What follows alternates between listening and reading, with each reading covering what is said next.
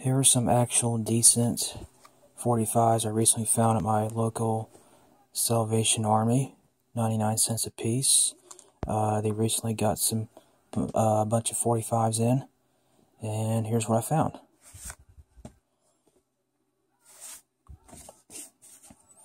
Here's a nice uh, test pressing of Badfinger Baby Blue. Kind of hard to find.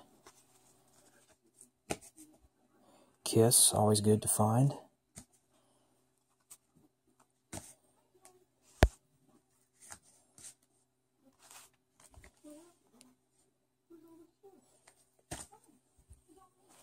Couple rare ones here. Some nice early Sinatra EPs.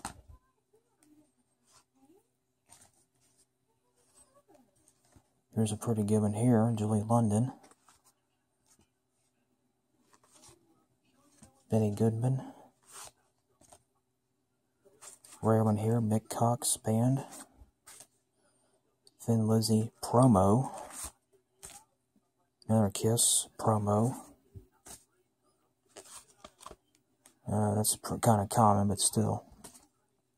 And this one. And I hope to find some more this week.